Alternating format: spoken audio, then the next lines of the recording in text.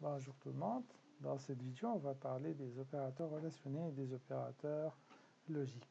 Les opérateurs relationnels sont au nombre de 6 et sont comme suit. On a l'opérateur d'égalité représenté par le symbole égal-égal qui permet de tester l'égalité de deux variables ou bien de deux expressions.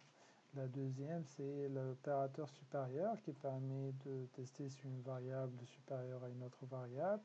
De l'autre, c'est supérieur et égal, qui permet de tester si une variable est supérieure ou égale à une autre variable. Inférieur, inférieur et égal de la même façon. Et l'opérateur de négation, ou bien l'opérateur de différence, qui est le point d'exclamation égal, qui permet de tester si une variable est différente d'une autre variable. Donc si le contenu d'une variable est différent du contenu de l'autre variable. Donc ici on va voir dans notre exemple, pour x égale à 3 et y égale à 6, si on teste l'égalité, on va avoir un résultat qui est égal à false. Par contre, si on teste la différence, on va avoir un résultat qui est égal à true. Et sachez que les six opérateurs relationnels fournissent un résultat booléen. Donc on a false, false, false, true, true et true. La deuxième catégorie d'opérateurs, c'est les opérateurs logiques. Le et, le ou et le not. Je m'explique. Vous avez une première expression qui est x supérieur ou égal à y. Vous avez une deuxième expression qui est y supérieur ou égal à z. Et on veut avoir le résultat. On veut avoir le résultat de ces deux conditions en combiné avec l'opérateur égal. Comme exemple pratique de ça, si par exemple vous, euh, êtes... Euh, vous conduisez votre voiture et euh, vous êtes en état d'ivresse, donc conduite de la voiture, et vous êtes dans un état d'ivresse, donc vous allez avoir des pénalités. Et dans ce cas-là, on a deux conditions. Je conduis la voiture, je conduis en état d'ivresse. Si ces deux conditions sont vérifiées, je vais, être, je vais avoir une pénalité. Donc dans ce cas-là, c'est l'opérateur logique et que vous devez utiliser. Donc, euh, comment ça s'écrit l'opérateur logique et C'est euh, tout simplement le symbole et commercial et commercial.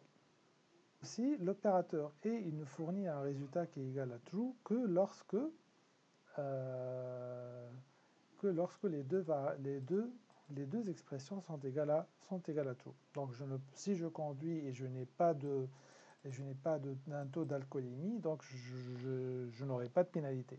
La même chose, si je, si je n'ai pas bu et je suis en train de conduire, je n'aurai pas de pénalité. Et si je n'ai pas bu et je ne conduis pas, je n'aurai pas de pénalité aussi.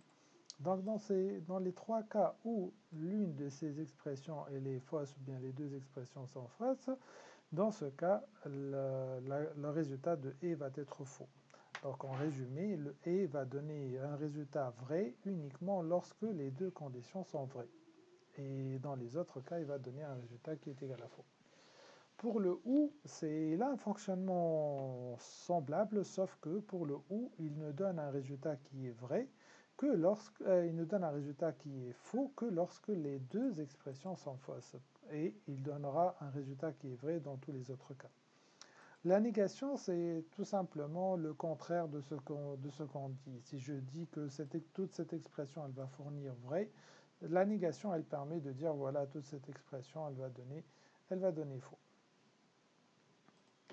Donc ça, c'est les opérateurs logiques, et ils sont le « et » logique, noté par des « et » commerciales, le « ou » logique, noté par des barres verticales, et le « not » logique, qui est noté par le point d'exclamation.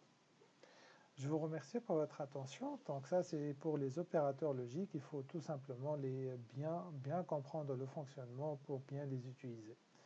Merci pour votre attention et on se voit dans une vidéo future. Merci beaucoup.